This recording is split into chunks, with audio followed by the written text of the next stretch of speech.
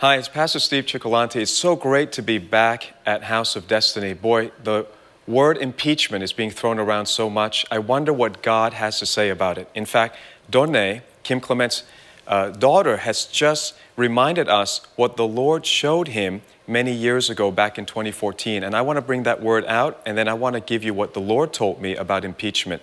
First of all, what does the word mean? The word impeach means to call someone's integrity into question.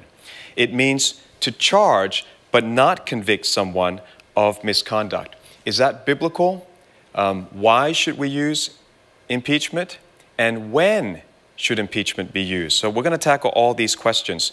First of all, let me go to the prophet's words back on the 22nd of February 2014. This is what Kim said. Quote, Hear me, for I have found a man after my own heart. Boy, that sounds like David. I found a man after my own heart, and he is amongst you. He is one of the brothers that singled out for the presidency of the United States of America. And then I heard gold. I wasn't sure if this was attached to his name. Well, you know, gold is the trademark color of Donald Trump.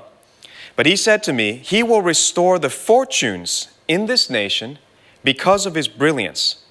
This man will throttle the enemies of Israel. And out of all the presidents, only Trump dared to move the embassy of America to Jerusalem and then dared to recognize the Golan Height. This man will throttle the enemies of the West. And there are highly embarrassing moments that are about to occur for many, many politicians in this nation. There'll be a shaking amongst the Democrats in the upcoming elections, plural. I believe that refers to 2016 and 2020. But unsettling for the Republicans. Why is God doing this? For God said, I am dissatisfied with what emerges from both parties. Well, then there you go. God is not partisan, is He? God is for every American, every Christian. They will shout, Impeach Impeach, they say, but nay. They will shout, Impeach, impeach, but this shall not happen. And then God says, highly embarrassing moments when another Snowden arises. This is an amazing thing that was spoken back in 2014, and this is exactly what we're hearing now the word being thrown around impeach, impeach. In fact, four presidents have faced impeachment. Andrew Johnson and Bill Clinton were both impeached by the House. However, they were acquitted by the U.S. Senate. President Nixon resigned as the House was preparing for impeachment vote. And President Trump now may be the fourth president to face impeachment. The Lord has told me to write a book, not only about Donald Trump, but for Donald Trump, and one of the main things I talk about is this whole concept of impeachment. Uh, we don't have the book yet, so I'm just saying it to you before the release. But if you are interested, we already have two DVDs by this name. That's, the title of this is called Trump's Unfinished Business 10 Prophecies, 10 Prophecies that will save America. When a prophecy is given, the people of God must believe it, they must receive it, believe it, and then speak it. Oftentimes, people use the words uh, legal terms in an improper way. They say they decree and declare. I want you to declare the prophecies, but don't decree, because only the judge decrees the order. Only God will decree this. So he's decreed 10 things, and one of them is concerning impeachment. In several of my chapters, I explain what is impeachment, how it works, why it must be turned around at this time and be used by Trump. They're using it against him, but he's got to now pick up the game and use it against the wicked forces of the deep state. The end times is a season for justice. It is a time for us to pray for the judicial Christ to manifest. We're preparing our hearts for Jesus to come back. And what's he going to do? He's going to judge the world. And you see what's happening in Washington. Elijah Cummings, the congressman from Baltimore, one of the most vocal critics of Donald Trump, and the leading Democrat on impeachment, just dropped dead this month. Just dropped dead at the age of 68. I said before, nearly all of Trump's problems will come from lawfare, that is, the weaponization of the law and the abuse of the judicial system. And all of his successes will also come from justice. And the Republicans and conservatives and Christians often like to talk about economics and interest rates and tax policies, but that is not the time. This is not what the spirit of prophecy is saying. This is now the time for judicial reform. And so we need to be paying attention to what the enemy is doing. You know, they're trying to take over all three houses or all three branches of government through lawfare. They want to lower the voting age to capture Congress. They want to pack the courts to capture the Supreme Court, to in fact nullify all the justices that have been appointed by conservatives. And they now want to impeach the president, the duly elected president, because they know they have very little chance of winning by the vote, by the people's choice. And so they're using the law against the president. Now, if the president is wise, if he would read my book, I believe that he needs, with the help of Congress, he needs to pass a Judicial Accountability and Transparency Act that will restore and bring back public respect for the third branch of government. According to the U.S. Constitution, did you know that all political offices are impeachable? Let me read to you Article 2, Section 4. A lot of people don't know this. They think that it's just for the president. Listen to this the president, vice president, and all civil officers of the United States shall be removed from office on impeachment for and conviction of treason, bribery, or other high crimes and misdemeanors. In Article 2, Section 4, this is very interesting because the president has a, a, a, a overriding power uh, of pardon. And yet, Article 2, Section 2 says, except for this, the president shall have the power to grant reprieves and pardons for offenses against the United States, except in case of impeachment. And then Article 1, Sections 2 and 3 tells us how it's done. The House impeaches, and then the Senate tries all impeachments. In other words, the Senate becomes a second Supreme Court. So, what does the Bible say about this? Is this biblical?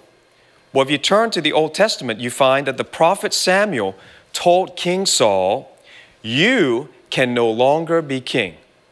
When we look into the New Testament, we find another case where the employer in Jesus' parable told his unfaithful servant, You can no longer serve. So, in fact, these are very much like impeachments because in neither case were they convicted in a court of law, but they were in effect impeached for bad behavior. That is what impeachment is for. It's not for crime, it's for bad behavior.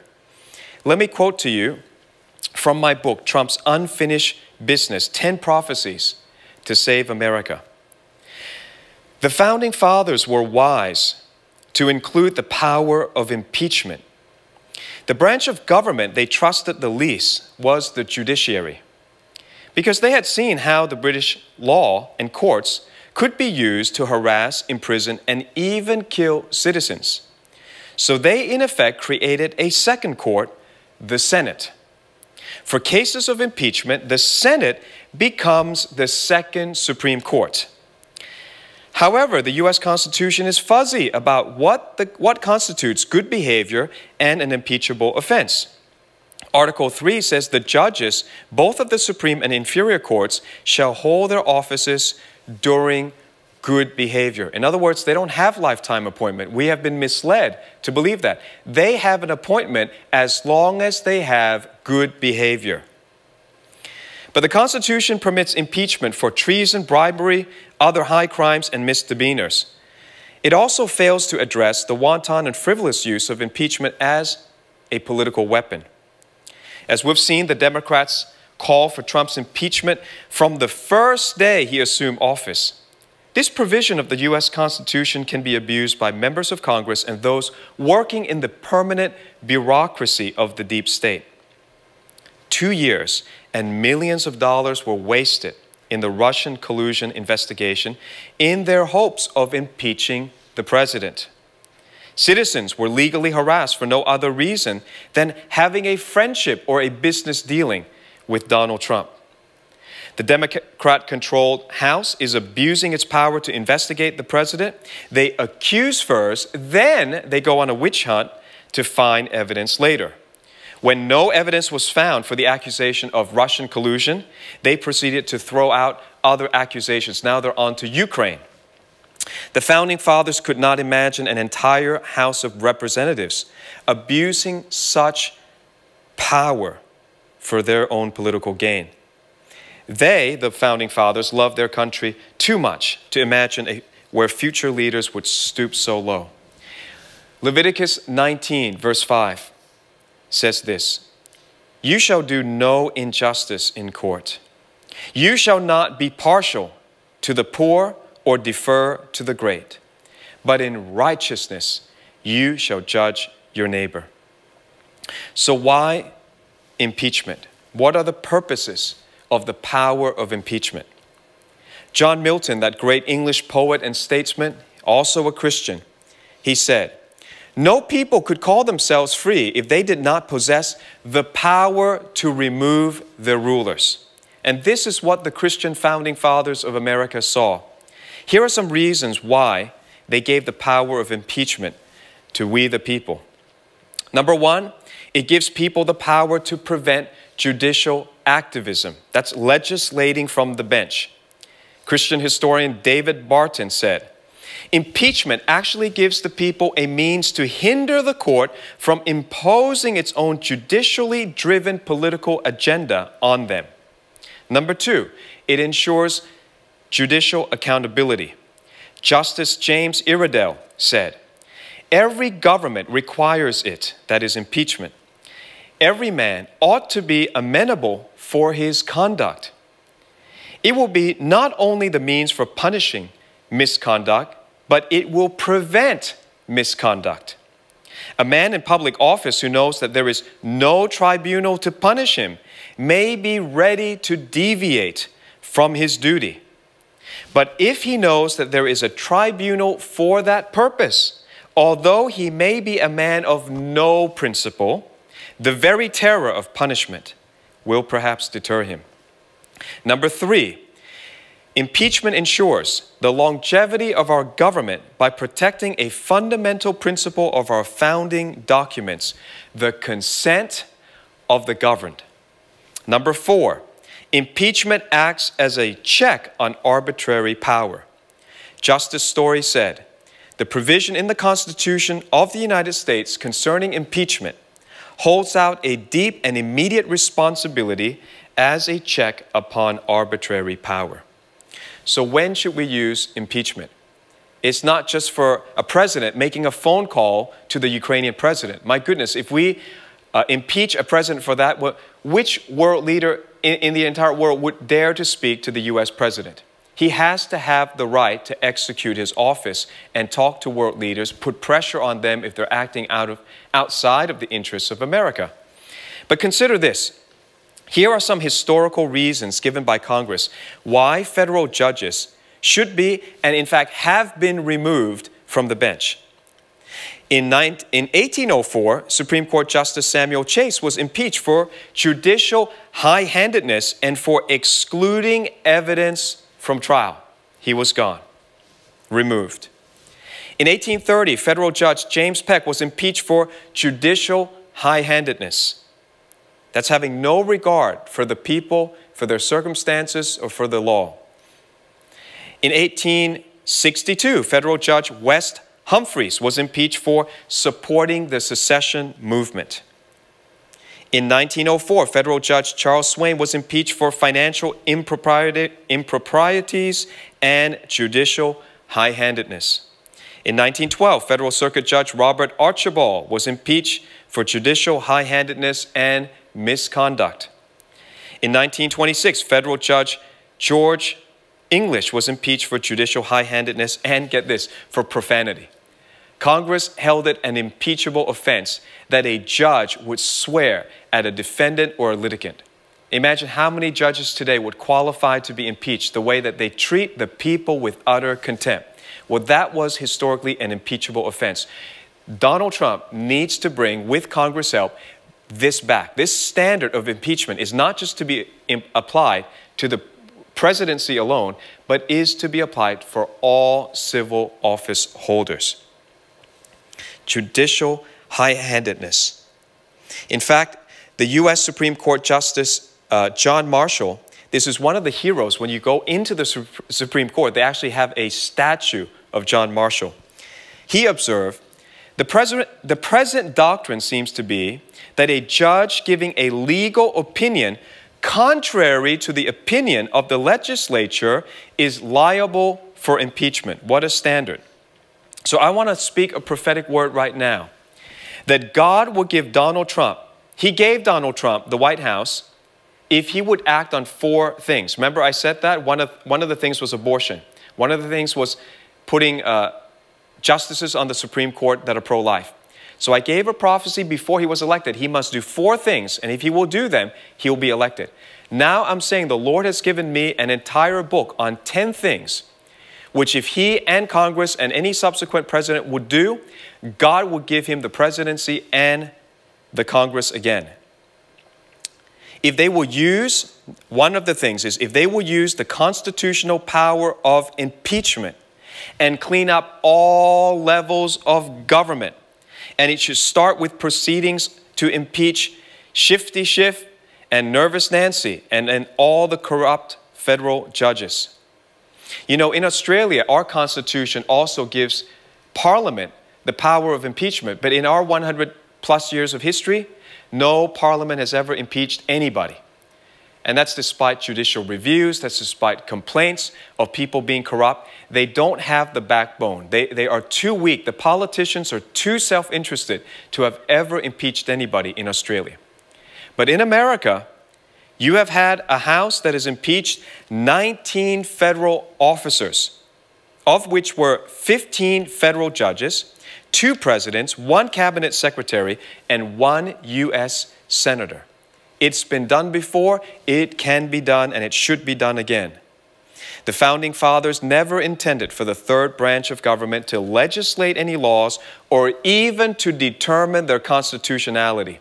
And this is a lie that has been peddled and pushed on the people and on Christians.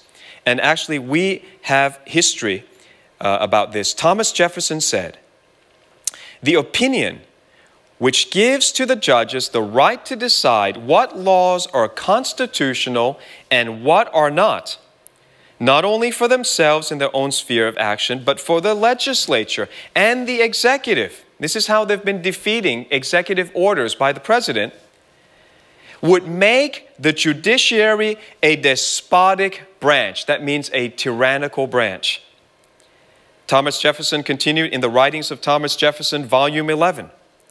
You seem to consider the judges as the ultimate arbiters of all constitutional questions. A very dangerous doctrine indeed, and one which would place us under the despotism of an oligarchy. That means just a bunch of people instead of all the elected people that the people chose. Our judges are as honest as other men and not more so, said Jefferson. They have with others the same passions for party and for power. So we've covered what righteous people can do in politics. There is political impeachment. But you know, there's also spiritual impeachment. And we, as the body of Christ, need to begin to apply this spiritually and realize God has given us power to execute the written judgments of the Lord.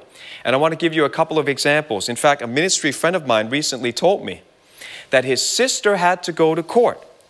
But the judge, it turns out the judge they had in her case was a childhood buddy of the ex husband. So the judge, knowing this, should have recused himself, but he didn't. My ministry friend and his sister then prayed the scriptures and believed God. The court was set for a hearing on Monday, and on the Friday before, that weekend before, do you know what happened? That judge dropped dead. There is a God, and he is called the God of justice. And we don't pray any harm for anybody, but in this case, that is what happened. Do you think that's a coincidence? Here is another example of a ministry friend of mine who was praying for another judge. And he prayed Psalm 82. Psalm 82 is the judgment on unjust judges. There are many judgments like that in the Bible that Christians haven't seen because we're only looking at righteousness and grace and mercy, but we haven't seen the other side. Jesus is the lamb, but he's also the lion. We are to pray as priests, but we're also to execute judgment as kings. Jesus has made us both kings and priests. We have the gospel of salvation, we have the gospel of the kingdom. This has all been neglected, and this is why I taught our church in Australia, I taught this for more than 10 hours. It's called the Justice Series, the Biblical Justice Series. I wish everybody would learn that. I wish this would spread. I believe it will spread to the churches of, of the world. But uh, he prayed.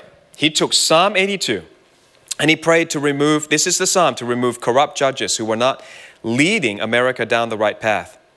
And he had a passion for this. He was praying for this. And you know what? Within a few months, the judge that he prayed for was diagnosed with early stages of Alzheimer's and dementia, and then she voluntarily resigned.